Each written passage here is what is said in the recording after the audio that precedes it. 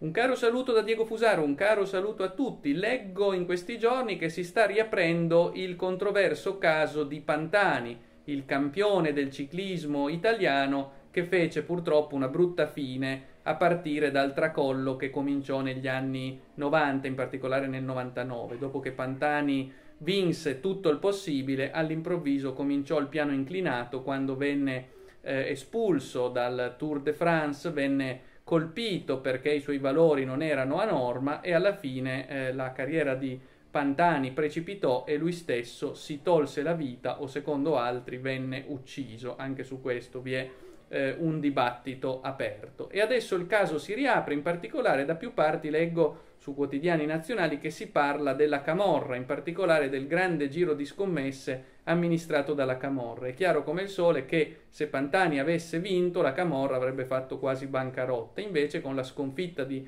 Pantani, o meglio con la sua espulsione, non vi fu quella, eh, quel, quell'evenienza, non ci fu quel fatto e quindi non ci fu la bancarotta della Camorra. Questa è una tesi che più volte abbiamo sentito, anche sulle Iene era uscito un documentato servizio in cui si difendeva questa tesi che a quanto pare adesso sembra essere riaperta e ripresa in considerazione. Vedremo gli sviluppi, intanto ci piace ricordare con stima e affetto Pantani che è stato un vero campione per il quale, non lo nascondiamo, abbiamo nutrito ogni simpatia e ogni affetto e continuiamo a farlo.